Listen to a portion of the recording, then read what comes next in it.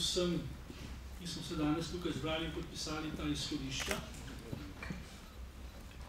Zakaj smo mi podpisali ta izhodišča?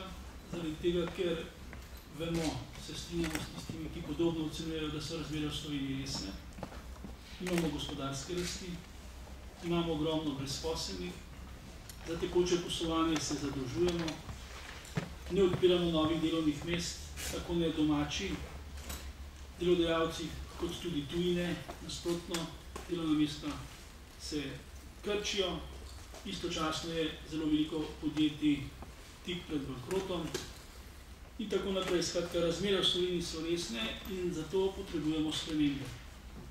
In socialni sporazum je način, kjer v socialnem dialogu dogovorimo, kakšne spremembe, kolikšne spremembe. In naša ocena je, da časa nimamo veliko, zato se moramo čim prej dogovoriti za te spremembe in zato smo bili med tistimi, ki so ta izhodišča, kot pravimo, porivali naprej.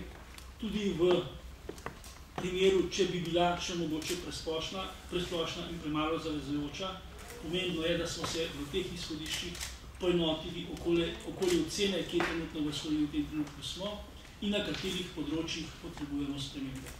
In sedaj pričakujem, da se nam bodo v prihodnih tednih in mesecih pridružili tudi ostali predstavniki sindikatov in v tvornem socialnem dialogu prispevali k temu, da bo Slovenija prišla iz te nezavidljive situacije, ko pravzaprav drug drugemu nagajamo, se oviramo pri normalnem poslovanju, ne nazadnje tudi pri zagotavljanju normalne socialne varnosti in da bomo poiskali razvojni model, ki bo Slovenijo spet naredil uspešno.